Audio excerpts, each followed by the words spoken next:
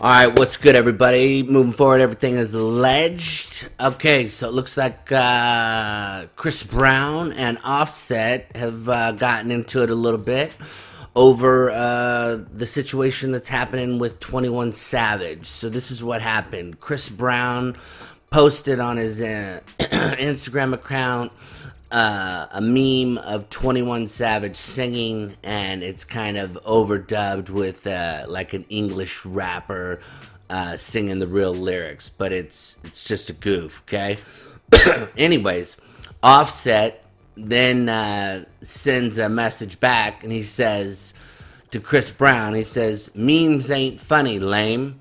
And Chris Brown goes from zero to sixty in like that. You know what I mean? So uh, he responds back, uh, "F you, little boy. Better worry about what you got going on and focus on you. All this cap on IG is what's lame. Yo energy won't like that when I come out to the Drake show in LA. If you don't get you your uh, hip hop a hibbity to the hip hip hop and you don't stop rocking face out my comments, sensitive ass N word, call me personally. You want some clout when all you gotta do is pull up. No camera, no flexing at all. If you a real man, fight me. Oh, and another thing, suck my D. Okay? So then uh, nothing happens for a quick second, and then Chris Brown even comes even further more.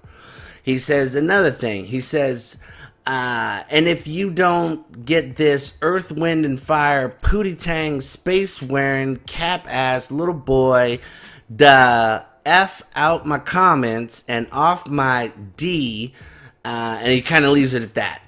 And then Offset uh, responds with the comment that says, uh, Cokehead don't want no smoke. Uh, but that comment was deleted. Okay?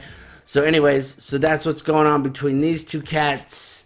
Um, I'm sure, you know, I don't know, man. I don't know what to tell you on this, but uh, it went from uh, 0 to 60 real fast.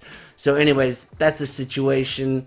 Hope you guys enjoyed the video. Make of it what you will. Uh, these two guys are grown guys. They'll be able to, uh, you know, handle their handle their business the way they want to handle it. But anyways, also I did want to credit the Shade Room for providing the uh, Instagram posts for uh, the conversation back and forth. So check them out when you get a second. Uh, anyways, please uh, do me a big favor.